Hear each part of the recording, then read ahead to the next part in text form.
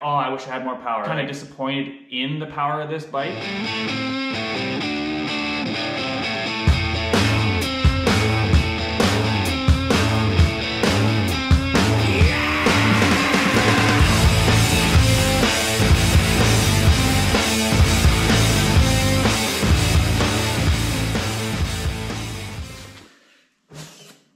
Hey guys, welcome back to another video and today we're finally going to do a review on this 2024 300 XCW.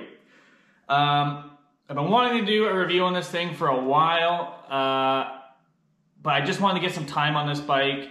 I really wanted to put it in some different terrain, um, like tight stuff, super steep, uh, fast and flowy, even just a little bit of jumping on it, drops, stuff like that, just to see really what the whole package was like. Now it's time to let you guys know what I think about it. Um, I maybe encourage you guys, I'll try to, you know, pull a few clips and throw in this video as well, but maybe go back, watch the last couple of videos of this thing, um, and then I guess you can decide if that's train you ride, you can listen to the bike, um, and maybe kind of form your own opinion that way because I think everyone's going to have a different opinion and I think it really comes down to what train you ride. I would say for the train that I ride, this bike is it.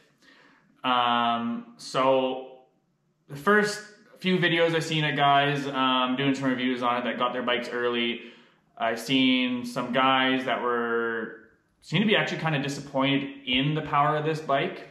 Um, that I don't know if they were anticipating it to be as hot as the 300XC the 2023 2024 uh, TBI models. I know that they were kind of looking for that hit and that raw power and stuff like that. But to be honest, when I kind of heard that, I was actually kind of a little happy. Actually, I was a little worried that it was going to be super aggressive and and have tons of power, and it might be a little bit hard to manage. Um, because for what I ride, traction is key and having that more linear power that just, you know, it's still strong. Like this bike, I've never had this bike in a situation that I'm like, oh, I wish I had more power. Like I've literally climbed sides of mountains on this thing and not once I'm like, ah, only I had more power. Like it's a super strong motor, super crisp, and but it's linear. It doesn't it doesn't hit super hard. It just pulls strong all the way through. But you know when you're you're just trying to keep traction and you want to accelerate a bit to get up into that next bench or whatever, it it's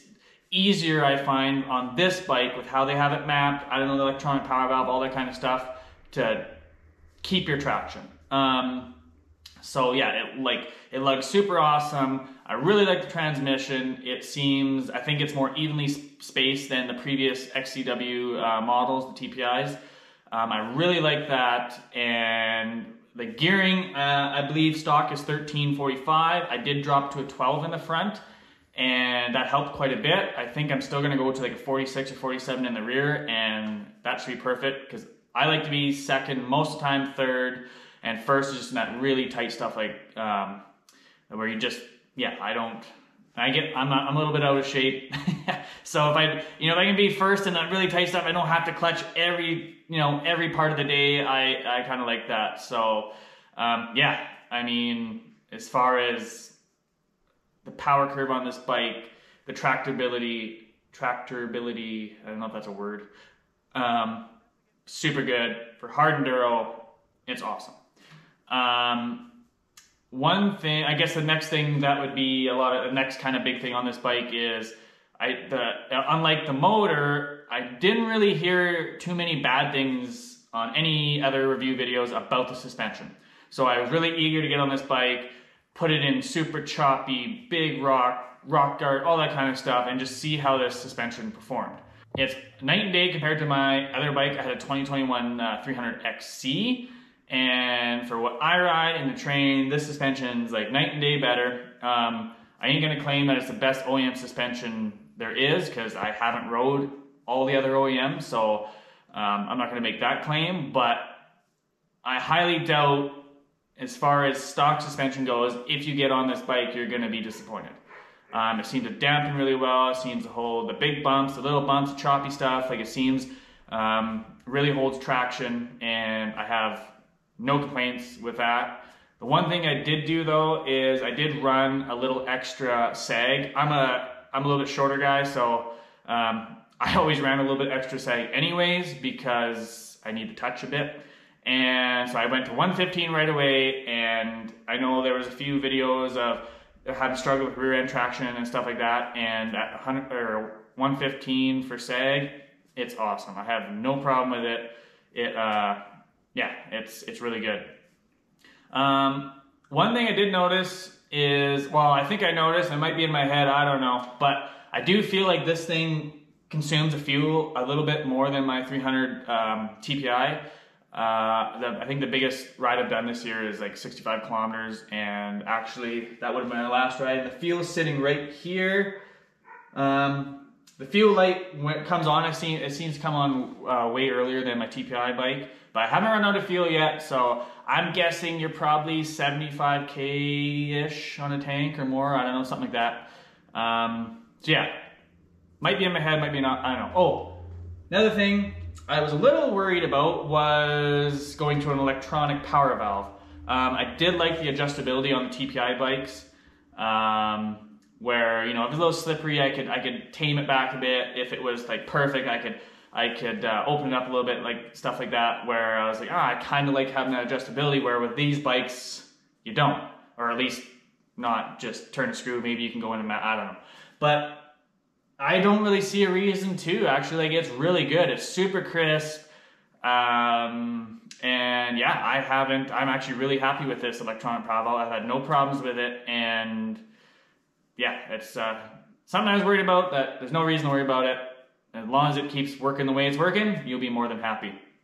Um, another little thing that I like is the the pipe is seems to be tucked up higher up into the bike, and I have one little ding in it. Like I've been in rock gardens, I've been in literally dragging it down cliffs of of mountains, roping it down and um, hitting it like over log, all that kind of stuff. I have one little tiny ding, but it really still looks brand new. And I don't know if it's just because it's tucked up more, maybe it's a little thicker walls, I don't know, but I really actually like that. One thing I, I did notice being a shorter guy and all trying to get all the, the reach I can get to the ground, the seats are definitely a bit more square on these new bikes versus the TPIs that were kind of more rounded. So I did notice that. Um, I mean, obviously, probably as it breaks in, it'll be a little less, but it's just just one thing I noticed. Um, what else on this thing? Um, yeah, I, I, don't know. I am super happy with this bike for the train I ride. Um, I don't know if you can really beat it. Um, obviously, you know, cone valves, stuff like that. Like there's things you can definitely do. But as far as a, a bike off the showroom floor, like I'm telling you, probably 99% of people won't even ride this bike to 75% of its potential. So, I mean, yeah, I I'm super happy with it. Um, I really don't have much complaints about it. I probably will make a video of a few things I really like, a few things that I I don't really like more. It's just kind of more user friendly stuff, not really performance things like that. But um, yeah, it uh, it's a solid bike. If you're looking at getting one, and like I said, maybe go back, maybe watch some of my videos, see the train you ride, because the train, the train I ride for this bike, it is the right tool for the right job. Um, maybe if you like the fast and flowy stuff and stuff like that, maybe you, you do want to look at the, the XC. But I mean, this thing handles it uh, incredibly well too. So um, yeah, I I don't think if you ride trail, if you ride, if you don't ride motocross and you ride anything to do with being in a trail, rather it be steep, gnarly, hard enduro, or even just fast and flowy stuff, like, I know you cannot go wrong with this bike. And yeah, like, it's awesome. I would not hesitate to buy one. Like, I know there's some guys on the fence, whatever, and like, I mean, I only have 28 hours on it, so I mean, I can't do a long-term review. I don't know if there might be some long-term issues. I, I don't know. Obviously, if there is, you're gonna you'll you'll have it on this on this channel. Hopefully that sums this up. Um, like I said, I'll probably have another uh, a video of a, a, few things I like, a few things I dislike. Like I said, it um, things like that. It uh, we're pretty much done with the bike for the season. We have snow on the ground now. Uh, we do have a studded set of tires, and we'll probably get out a few times like that, but Um, not sure how much. It will definitely won't be weekly bike videos, that's for sure. And but we're getting into sledding, and that's super sick. Uh, I got a solid crew of sledders like that. Hoping to get lots of videos. Hoping to make these things better for you guys. And I got some exciting news for guys that are interested in sledding things. I think you guys will want to look forward to. So yeah. Um, well, I guess until next time, guys. Uh, hopefully this review video was not absolutely terrible and a waste of your time. So until next time, uh, don't forget to like and subscribe. And yeah, we'll uh, catch you on the next one.